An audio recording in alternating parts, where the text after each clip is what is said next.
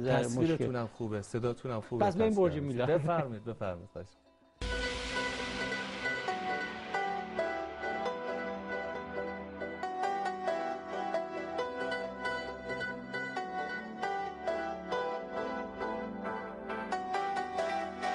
تو فقط منو میفهمیدی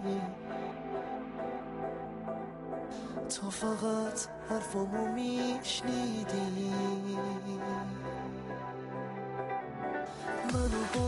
که تو رو رنجوندم کاش می‌شد منو میبخشیدی.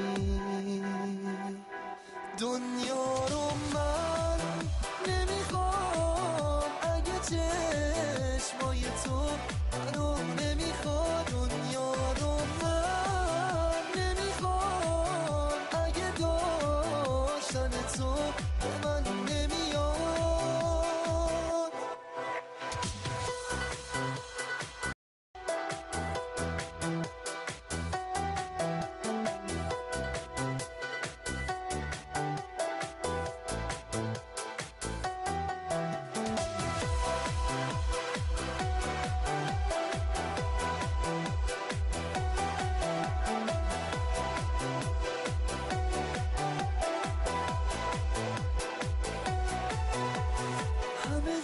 فکر تو هم همیشه منتظرم.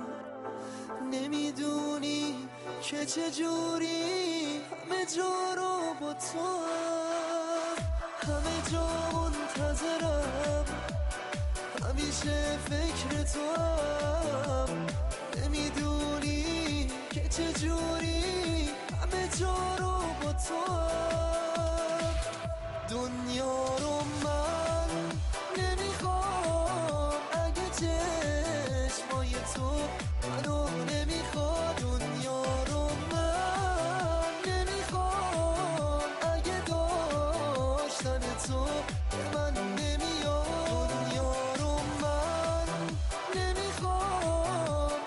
watching.